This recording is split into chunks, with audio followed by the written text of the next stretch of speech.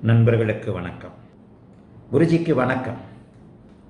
குலிகன் என்கின்ற மாந்தி பற்றி உங்கள் கருத்து அதை கிரகமாக எடுத்துக்கொள்வதா வேண்டாமா? மாந்தி குலிகன் அப்படிங்கிற இந்த பிளானட் வந்து உபகோல் அப்படின்னு சொல்லுவோம். ஒரு துணைக்கோள். நவ கிரகங்களுக்கும் துணைக்கோள்கள் இருக்கின்றன. சரி இப்போ இந்த குளிகன மாந்தியை பற்றி என்ன கருத்து? அதை கிரகம் எடுத்துக்கிறதா வேண்டாமா? கிரகம் இல்லை அது துணை கிரகம். இந்த நவ கோள்களுக்கு ஒன்பது கோள்களுக்கு மட்டும்தான் முக்கியத்துவம் கொடுக்கணுமே தவிர மாந்தி இருக்கின்ற இடத்தில் இப்படி இருந்து ஒன்பதாம் இடத்தில் மாந்தி இருந்தால் பதினொன்றாம் இடத்தில் மாந்தி இருந்தால் பன்னிரெண்டாம் இடத்தில் மாந்தி இருந்தால் அப்படின்னு சொல்லிட்டு அதை இதாக எடுக்கிறது நல்லது இல்லை. மாந்தியை வந்து கேரளா பாணி ஜோதிடம் பிரச்சனை ஜோதிடம் கேரளிய அது அந்த அமைப்புகளுக்கு மட்டும்தான் காதிலே போட்டுக்காதீங்க. மாந்தி என்பது ஒரு துணைக்கோள். அவ்வளவுதான்.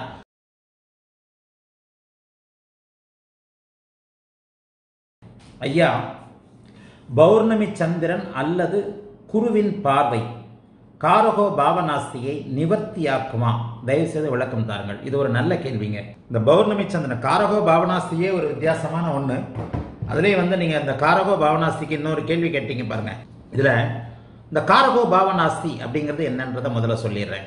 காரகன் காரக பாவகத்தில் இருப்பது காரகோ பாவனாஸ்தி சூரியன் ஒன்பதாம் வீட்டில் இருப்பது காரகோ பாவனாஸ்தி அந்த காரகோ பாவனாஸ்தி என்கிறத என்கிற அமைப்பு எப்படி அப்படின்னு சொன்னால் காரகன் காரக வீட்டில் இருப்பதால் காரகம் கெடும் அப்படிங்கிறது ஒரு அமைப்பு. கிரகங்கள் காரகோ பாவனாஸ்தி அமைப்பில் இருக்கும் பொழுது உயிர்காரகத்துவமான உறவுகளைத்தான் மிகவும் பாதிக்கிறது. புதன் மாதுள காரகம்னு சொல்லுவோம். மாதுளன்னா தாய்மாமன் தாய்மாமனை தாயுடன் பிறந்தவர்களை புதன் குறிக்கிறார். அவருடைய உயிர்காரகத்துவம் அது.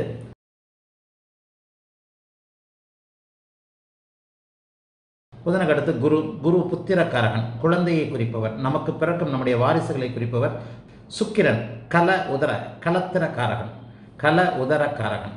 கலத்திரக்காரகன்னா வாழ்க்கை துணைய சனி சுபத்துவமாகிய அருமையான அமைப்பில் இருக்கும் பொழுது அவருக்கு நல்ல வேலைக்காரர்கள் அமைவார்கள்.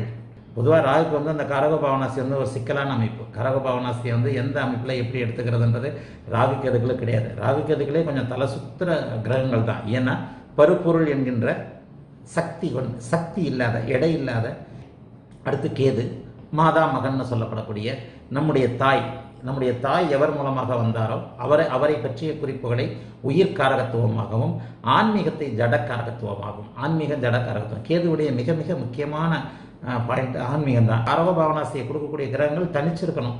பாவத்துவமாக இருக்கணும். சனி சபையோட தொடர்பில் இருக்கணும். அல்லது ராகுவோடு சேர்ந்து பாபத்துவமாக இருக்கணும். சனி சனிக்கு மட்டும் காரக பாவனாஸ்தி கிடையாது. எட்டாம் வீட்டில் இருப்பது அந்த காரகத்துவத்தை கெடுக்காமல் ஜட காரகத்துவத்தை கொடுக்கும் அப்படிங்கிற ஆயுளும் வந்து ஓரளவுக்கு உயிர் காரகத்துவம் தானே. சில விஷயங்கள் அந்த காரக பாவனாஸ்தி அமைப்புகளை உற்று கவனித்து கவனித்தீர்களே ஆனால் சரியாக துல்லியமாக பலன் சொல்ல முடியும். எல்லோரும் நன்றாக இருப்பீர்கள்.